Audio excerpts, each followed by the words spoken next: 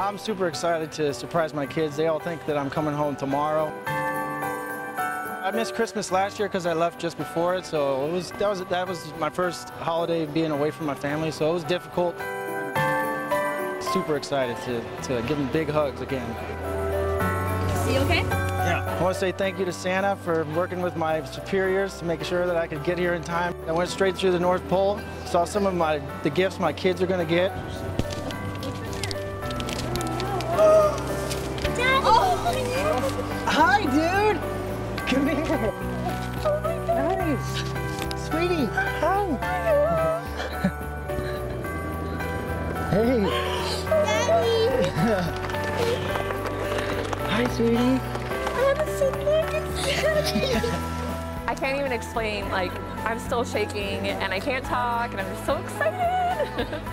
it was really rough not having him here. He's so important to us and he's so special and to not have him here to celebrate with us, it's been really hard. It's just so awesome to have him here now. What do you tell Santa? What do you tell Thank you. It just means the world to have him back and have our family together and oh, Mom, say thank you for saying it just, we feel complete and that hole has been filled. You got what you wanted for Christmas, right?